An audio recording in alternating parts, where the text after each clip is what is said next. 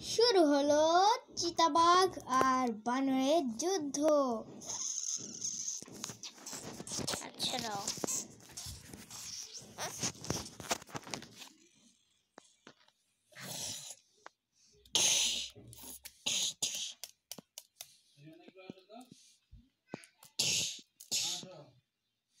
এখন এটা আবার আসছে জানো।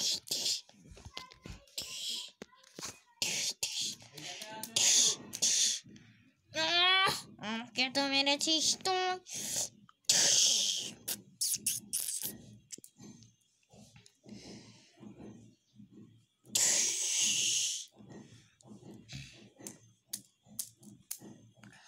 চিতাবাঘ চিতাবাঘ যে অনেক মারতেছে বানর যে না এই যে না বানর যে চিতাবাঘ রে অনেক মারতেছে আউ, আবার লেজে কামড় বেরোচ্ছে রে বাবা। লেজ উল্কিয়ে দিল রে। ওরে বাবা, লেজ ঠিক করে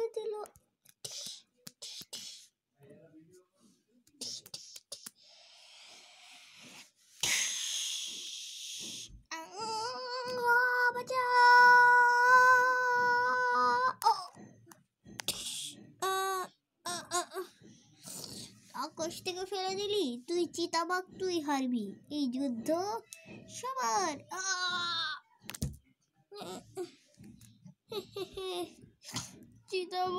হারাবে। বানর তো প্রায় হেরেই যাচ্ছিল তখনই। তার মনে পড়ল সে পানি খেলেই খুব শক্তিশালী হয়ে যায়।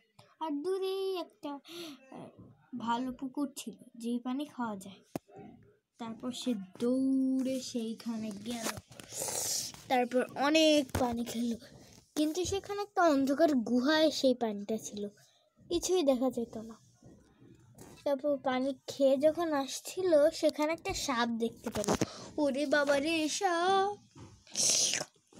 কত দিন পর বানরের মাংস।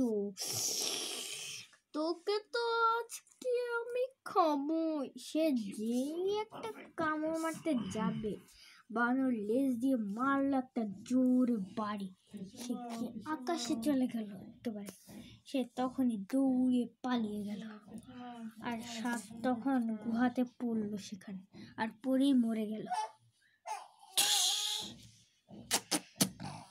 পরে এখন কি চিতাবাঘ তারপর তারপর বানর চেতা বাঘকে জোরে দিল একটা লেজ দিয়ে বাড়ি তারপর চিতাবাঘ হেরে গেল সেই যুদ্ধে। তারপর আকাশেও তুলে দিয়েছিল তাকে। সেও অজ্ঞান হয়ে গেল আর চিতাবাঘ তো আকাশ থেকে পড়ে গেল। কিন্তু এবারের মতো সে মরল না। সে তার খুব রাগ হয়ে গিয়েছিল। আমি আবার ফিরে আসব।